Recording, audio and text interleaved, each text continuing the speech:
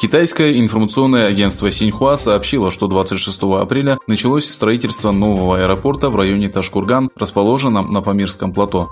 После завершения строительства аэропорт Ташкургана, который граничит с Пакистаном, Афганистаном и Таджикистаном, станет первой воздушной гаванью, находящейся на высоте 3253 метров над уровнем моря. Для проекта было инвестировано 630 миллионов юаней. Китайские власти сообщили, что аэропорт будет введен в эксплуатацию в июне 2022 года. Мощность аэропорта составит 160 тысяч пассажиров и 400 тонн груза в год. Коммунистическая партия Китая заявила, что проект запущен в качестве инвестиций в развитие Ташкургана. В свою очередь, пакистанская пресса пишет, что аэропорт будет играть важную роль в китайско-пакистанском экономическом коридоре и в проекте «Один пояс, один путь».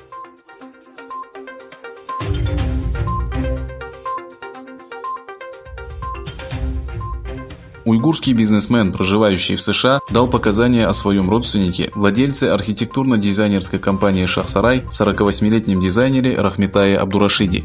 Согласно информации Радио Свободная Азия, Рахметай Абдурашид был арестован и отправлен в концлагерь в июле 2018 года.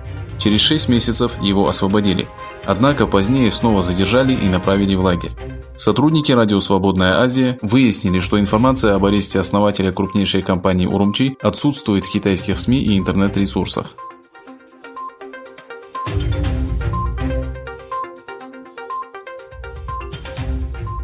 Национальное разведывательное управление США пришло к выводу, что новый тип коронавируса не был разработан китайскими учеными. Разведывательное сообщество США соглашается с научными данными о том, что вирус COVID-19 не является искусственным или генетически модифицированным. Мы продолжаем расследование. Нас интересует, передается ли вирус от инфицированных животных или причиной эпидемии все-таки стал несчастный случай в китайской лаборатории, пишется в заявлении сообщества. Ранее Трамп говорил, что источником вируса может быть инфекционная лаборатория в Ухане. Госсекретарь США Майк Помпео призвал Китай открыть доступ в Уханьскую лабораторию для международных экспертов.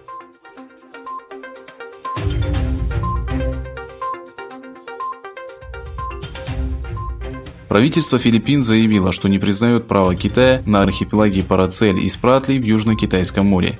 В заявлении Министерства иностранных дел Филиппин содержится оценка указа китайских властей от 18 апреля о соединении архипелагов к территориально-административной части города Саньша южной провинции Хайнань.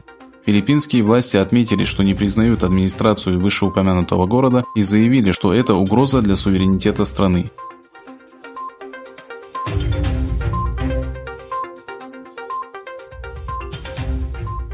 Отметив, что правительство США приложит усилия для отказа КНДР от ядерного оружия вне зависимости от смены лидера страны, Майк Помпео заявил, что внимательно следит за событиями в Северной Корее и Китае.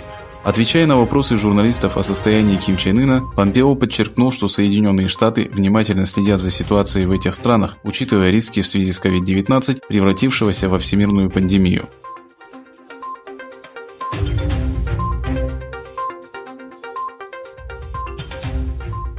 Результат теста на коронавирус премьер-министра Российской Федерации Михаила Мишустина оказался положительным. Об этом Мишустин сообщил во время видеоконференции с президентом Владимиром Путиным.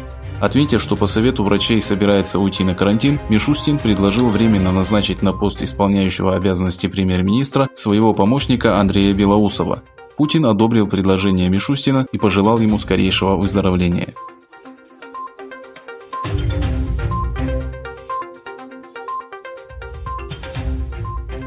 Нижняя палата парламента Таджикистана приняла постановление, запрещающее русификацию таджикских фамилий и отчеств. Министр юстиции Таджикистана Музафар Ашурьон при обсуждении документа заявил, что он принимается для формирования национальной идентичности.